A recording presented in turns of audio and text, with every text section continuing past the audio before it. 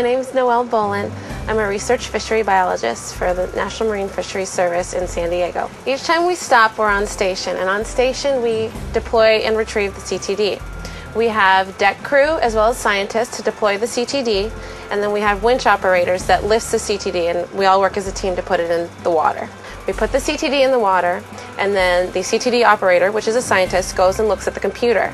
The computer, it gives a readout of the sensors that are on the CTD, and it produces a profile. And the profile gives the salinity content, oxygen content, and the uh, temperature, and a number of other things depending on what the scientists are looking for. Now, with that profile, you also see the depth. And at each depth, the desired depth, you can collect water. The CTD operator then trips a bottle or fires it, and that collects the water at that depth. And then when the CTD comes back aboard, you can sample it. You open the bottles, and then you get the water from these depths.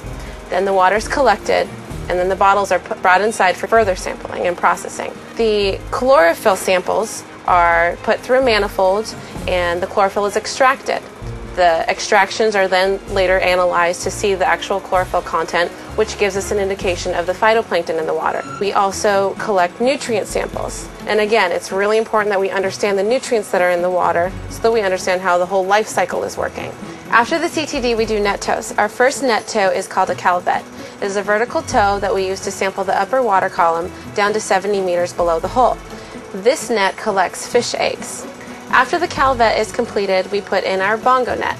The bongo net we call a bongo because it looks like a pair of bongo drums. It's an oblique tow that we put down to 300 meters of wire out at a 45 degree angle, which is equivalent to 212 meters down below the hull. This net collects fish larvae, plankton, and fish eggs. After the calvet and the bongo tows are completed, we collect the samples by washing down the nets, we bring them inside, and we preserve them. We like to call it pickling because we put a preservative in there. After these are pickled or preserved, we take them back to the lab and analyze them by identifying all the species and organisms that are in there.